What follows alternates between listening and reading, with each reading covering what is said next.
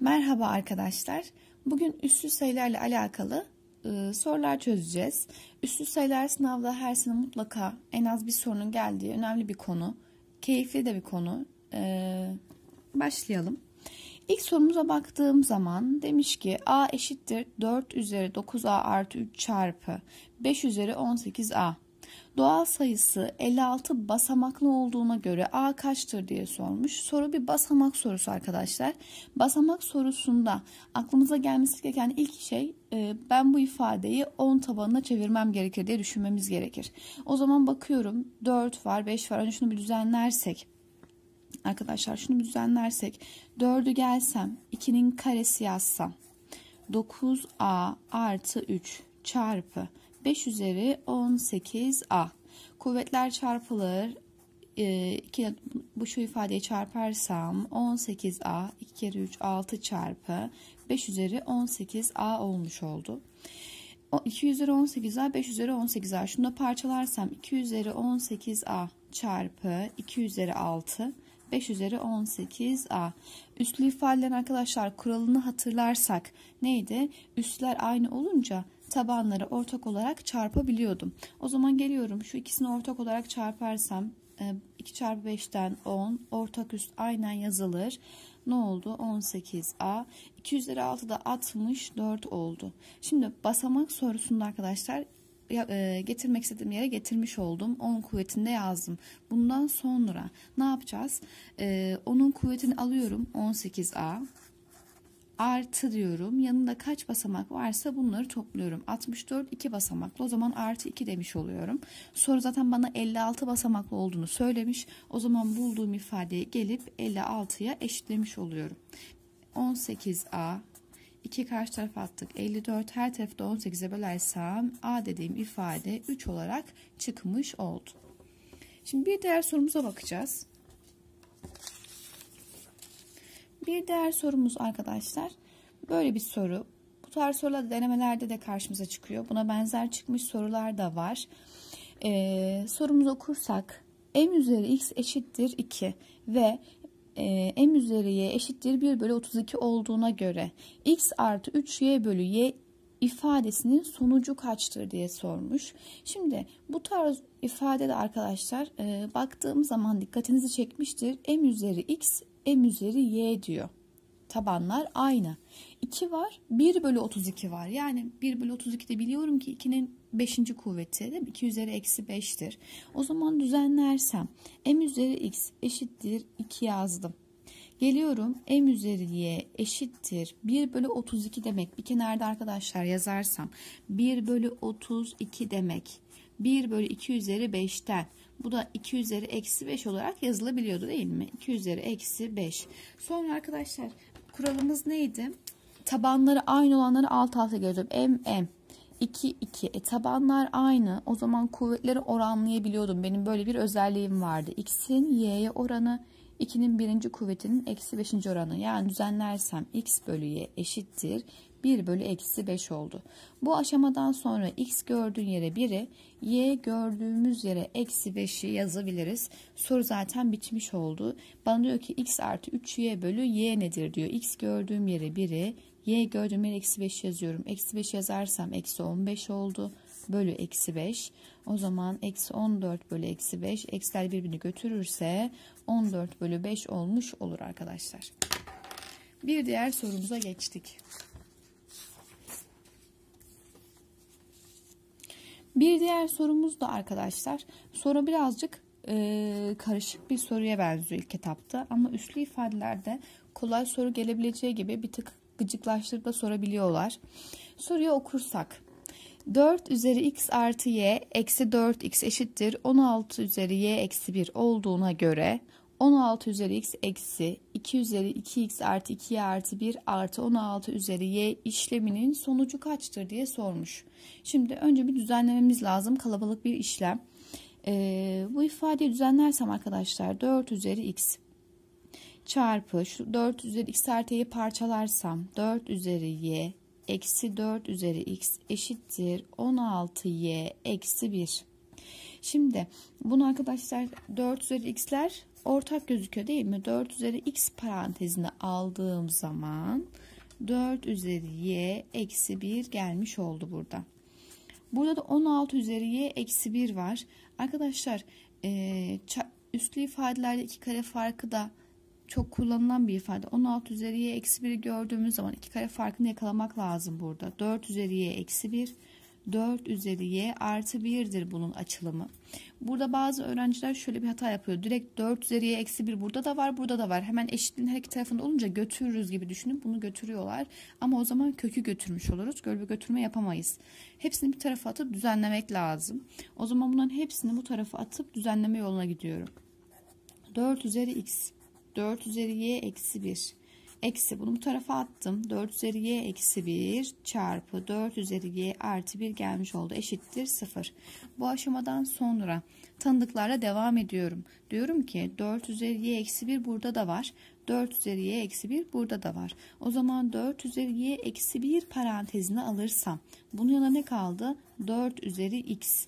Bunun yanında ne kaldı arkadaşlar? 4 üzeri y artı 1 ama buradaki eksiyi unutmamak lazım. Bu eksi hem buna hem buna dağılmış olacak. Eksi 4 üzeri y eksi 1 olmuş oldu. Eşittir 0. E bundan sonra da arkadaşlar çarpma ifadesi var. İki ifade çarpımı sıfırsa ya bu sıfırdır ya da bu sıfırdır değil mi? Her iki durumu düşünmek lazım. 4 üzeri y eksi 1 eşittir sıfırsa 4 üzeri y eşittir 1 oldu. Arkadaşlar biliyoruz ki bir sayının üslü ifadelerde sonuç 1 ise e, bir sayının sıfırıncı kuvveti bunu 1 yapardı. O zaman buradan y'yi 0 bulmuş olduk. Burayı halletmiş olduk. Devam ediyorum şurada. 4 üzeri x eksi 4 üzeri y eksi 1 eşittir 0 ifadesi var. Az önce ben y'yi 0 bulmuştum. Gelip burada yerine yazarsam yani y arkadaşlar burada 0 olursa 4 üzeri 0 buradan 1 olmaz mı? Olur. E, olay neye döndü? 4 üzeri x eksi 1 eksi 1 eksi 2 eşittir 0. 4 üzeri x eşittir 2 olmuş oldu. Bu aşamadan sonra da arkadaşlar ne yapabiliriz? Ee, isterseniz x e, direktmen 1 bölü 2 deyip yapabilirsiniz. Hemen ben bunu göremiyorum derseniz dersin ki 4 e, 2'nin kuvveti değil mi? Evet 2'nin karesi o zaman x eşittir 2. Buradan da kuvvetler çarpılır 2 üzeri 2x eşittir 2. 2x 1 ise x de buradan arkadaşlar 1 bölü 2 olmuş olur. x de buradan 1 bölü 2 oldu. Şimdi x'i buldum y'yi buldum arkadaşlar. Bundan sonra olay bitmiş diyeceksin. Ne yapacağım? Benden istediği ifadeyi gelip yerine yazmış olacağım.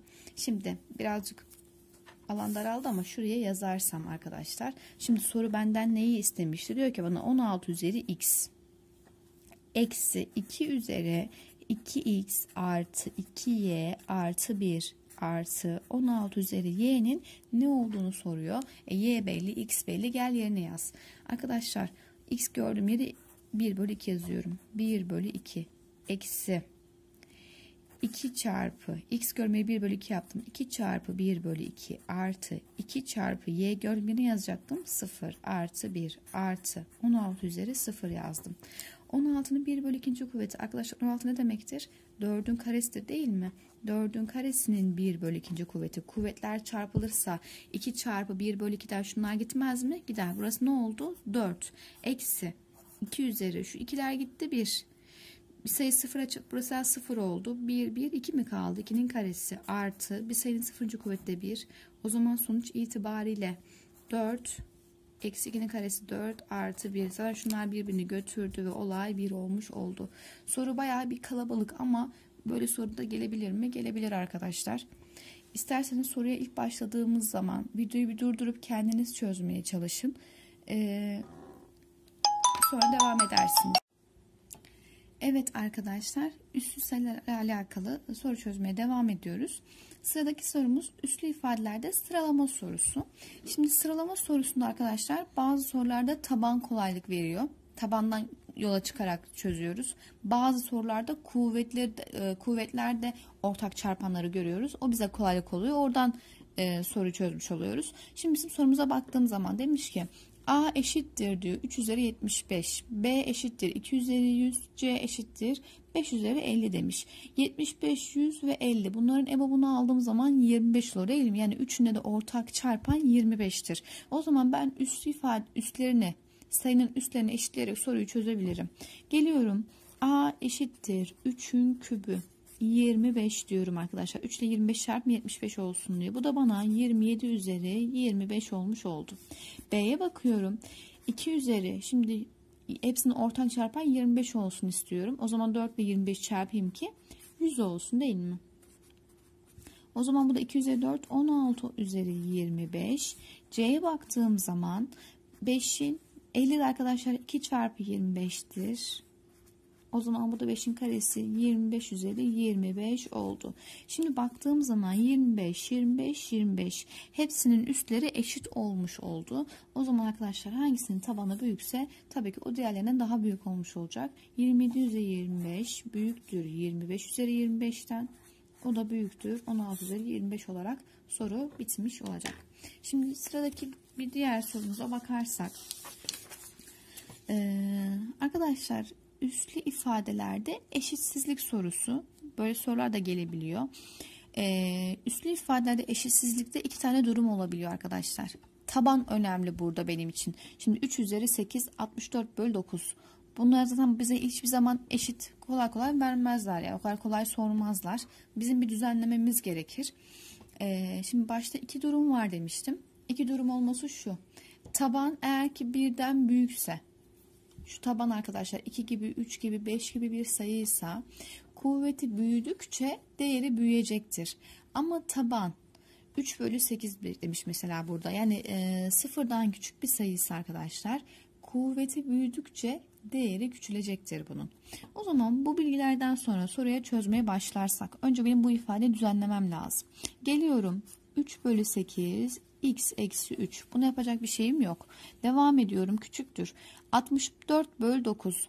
Şimdi 64 8'in karesi 9 3'ün karesi arkadaşlar. O zaman ben buna 3 bölü 8'i eksi ikinci kuvveti der miyim? Hem taklatmış hem karesi alınmış hali. Bunun da diyor x eksi 6. kuvveti.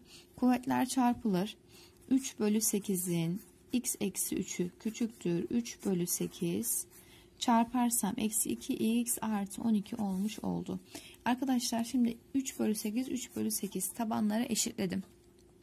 Bundan sonra kural uygularsam tabanımdaki sayı 0 ile 1 arasında rasyonel ifade olduğu için kuvveti büyüdükçe değeri küçülecek demiştim. O zaman şu ifade bundan büyük olmak zorunda. x eksi 3 büyüktür. Eksi 2x artı 12. Buradan da 3x büyüktür 15 x büyüktür 5 olmuş oldu.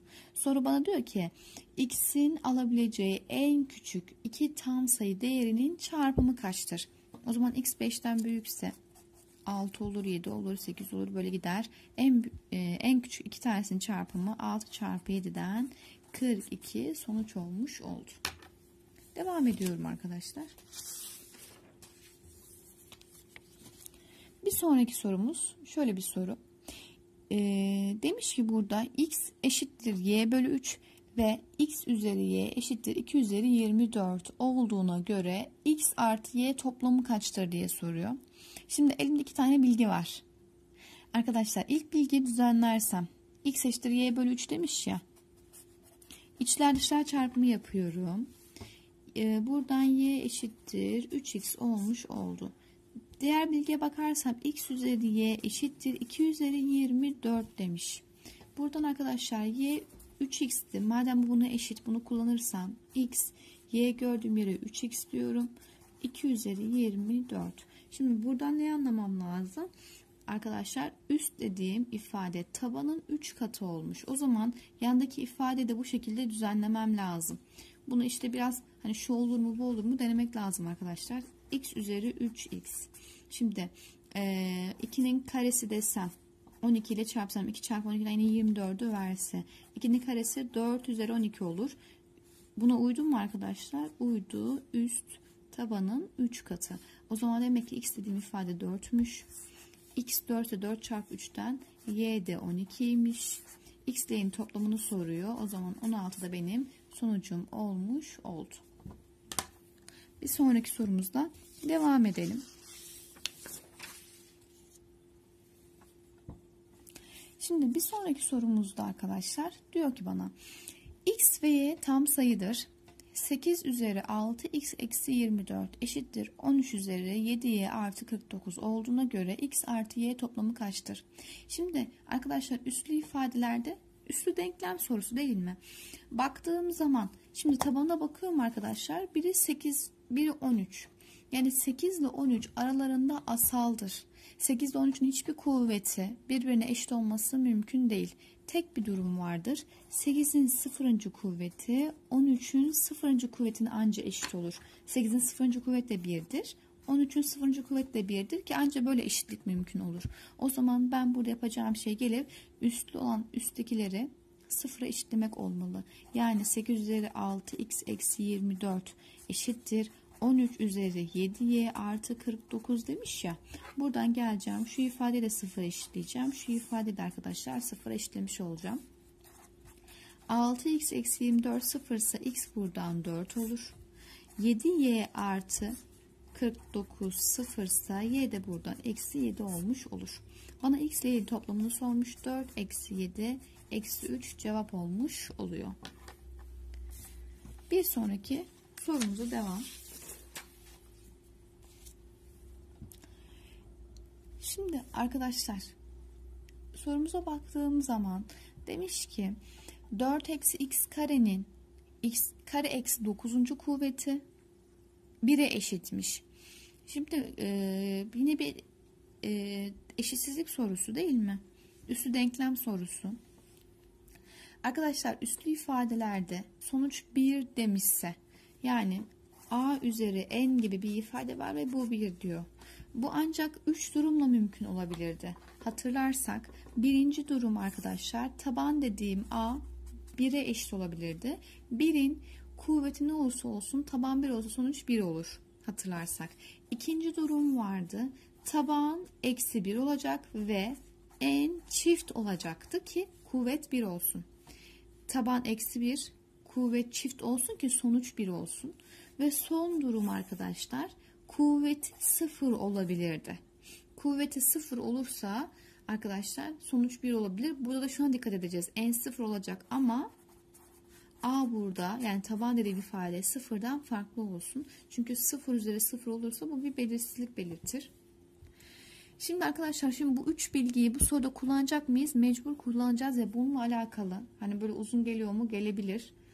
Ee, üç durumda düşünmemiz lazım. Zaten şıklara baktığım zaman 7, 6, 5, 4 hani büyük kuvvet, büyük değerler gelmiş yani. O zaman ilk durumda düşünmeye başlayalım. Şimdi a üzeri n eşittir b dedim. Burada benim taban dediğim şey arkadaşlar 4 eksi x kare. Üst dediğim ifadede x kare eksi 9 eşittir 1. Şimdi tabana o zaman geliyorum. İlk durum olan 1'e eşitliyorum şurayı. 4 eksi x kare 1'e eşit olursa buradan arkadaşlar ne olur? 3 eşittir x kare x artı eksi kök 3 olur. Yani buradan iki tane durum geldi. Devam ediyorum. Bu birinci durum. İkinci duruma bakayım arkadaşlar. İkinci durum neydi? Taban eksi 1 olursa 4 eksi x kare eksi 1 olursa bu sefer 5 eşittir x kareden her tarafın karekökünü alırsam x ne oldu? Artı eksi kök 5. Burada yalnız ikinci durumda demiştik ki bana e, taban eksi 1 olursa kuvvetinin çift olması lazım. Şimdi x kare 5 olursa gelip bakıyorum. x kare 5 olursa 5 eksi 9'dan eksi 4 oluyor. E, çift oluyor mu? Oluyor. Sağlıyor yani. O zaman 2 der de buradan geldi. Son durum arkadaşlar kuvveti 0 olursa. Şimdi kuvvet x kare eksi 9 bu 0 olursa x kare buradan 9 x ne olur artı eksi 3 şimdi x kare 9 olursa bakıyorum burası 0 olma durumu da yok o zaman Üçüncü kuralını sağlamış oluyor. O zaman buradan da iki değer geldi. İki değer buradan geliyor. iki değer buradan geliyor. iki değer buradan geliyor. O zaman arkadaşlar 6 tane değer olmuş oldu. Yani çözüm kümem ne olmuş oldu? Eksi kök 5. Eksi kök 3. Eksi 3. Sonra kök 3. Kök 5 ve 3 olarak tam 6 tane değer bulmuş olduk. Devam edelim. Bir sonraki sorumuzda.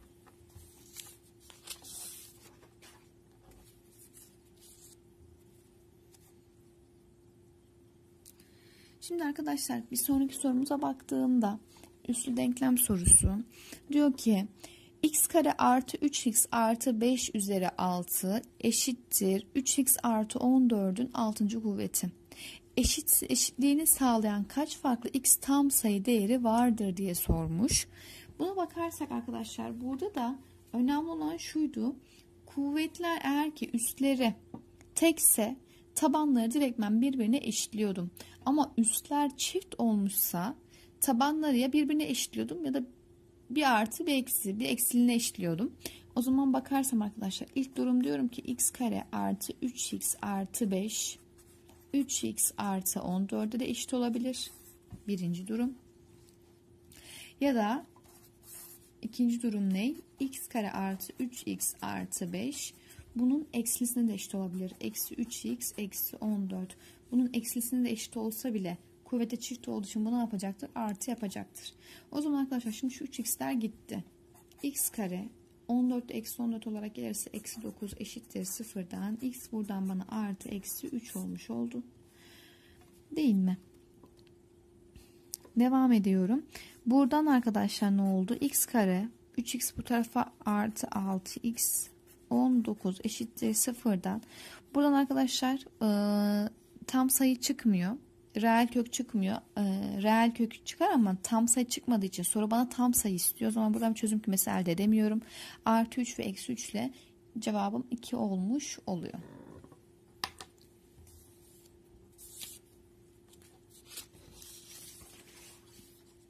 Devam edeyim. Başka bir soru. Arkadaşlar burada da bana demiş ki 2 üzeri a eşittir 5 üzeri b. 3 üzeri b eşittir 4 olduğuna göre 45 üzeri b'nin 2'nin kuvveti cinsinden yazılışı aşağıdakilerden hangisidir diye sormuş. Ee, şimdi bu tarz sorularda arkadaşlar ilk yapmamız gereken 45 üzeri b işte atıyorum 125 üzeri b yani benden neyi istiyorsa mutlaka önce onu bir parçalamam lazım. 45 üzeri b'yi istiyor. Şimdi bana verdikleri ne 2 üzeri a 3 üzeri b diyor. Şimdi ben bunu parçalarsam 45 de demektir 9 çarpı 5 değil mi? 9 çarpı 5 demektir arkadaşlar. Yani 9 üzeri b çarpı 5 üzeri b olarak yazdım. Tamam. Baktığımda arkadaşlar 5 üzeri b zaten soru bana diyor ki 5 üzeri b diyor 2 üzeri a'ya eşit. O zaman geleyim ben bunu gördüğüm yere direkt ben sonra bana verdiği bilgiyi yazayım. 2 üzeri a yazdım. Şimdi bunu hallettim. Niye hallettim? Amacım ne? Şu ifade ikili bir şey yaz diyor. Tamam. 9 e, üzeri b'ye de gelsem 9 3'ün karesidir. Kuvvetler yer değişirse 3 üzeri b'nin karesi yazsam arkadaşlar. Şu 2 üzeri a aynen yazılacak. E soru bana diyor ki 3 üzeri b diyor 4'e eşit diyor arkadaşlar. Bunu görmeye 4 yazarım. O zaman 4'ün karesinden 16 çarpı 2 üzeri a olur. E 16 zaten 2 üzeri 4 demekti. 2 üzeri a. Üslü ifadelerde tabanlar aynı olunca üstler toplanırında 2 üzeri a artı 4 olacak o zaman. O zaman sorum da burada bitmiş oldu arkadaşlar. Bir sonraki sorumla devam ediyorum.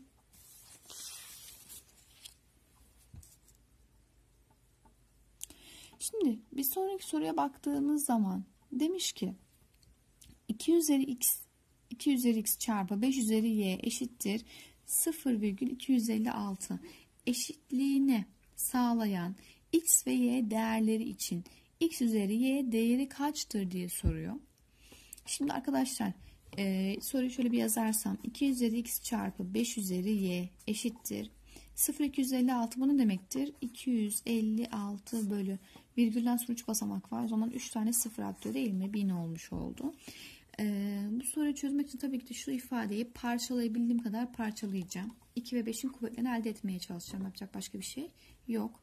Bunu sadeleştirirsem ne olur arkadaşlar? 2'ye bölsem 128, 2'ye bölsem 500, 2'ye böldüm 64, 2'ye böldüm 250, 250, 2'ye böldüm 32, 2'ye böldüm 125. Daha da parçalanmıyor. O zaman 2 üzeri x çarpı 5 üzeri y eşittir. 32 demektir? 2 üzeri 5. 125 ne demektir arkadaşlar? 5'in kübü demektir. Bunu da düzenlersem 2 üzeri 5 çarpı 5'in kübü de arkadaşlar 5 üzeri eksi 3 olarak yukarı çıkmış olabilir. O zaman bundan sonra da bu 2, 2 üzeri x var. 2 üzeri 5 var. O zaman x 5 olmuş oldu. 5 üzeri y 5 üzeri eksi 3 y de buradan eksi 3 olmuş oldu. Bana soru diyor ki x üzeri y'yi istiyorum diyor. O zaman arkadaşlar 5 üzeri eksi 3'ten cevabım 1 bölü 125 olarak bitmiş oldu arkadaşlar. Şu şekilde. Bunu bu şekilde tamamlamış olduk.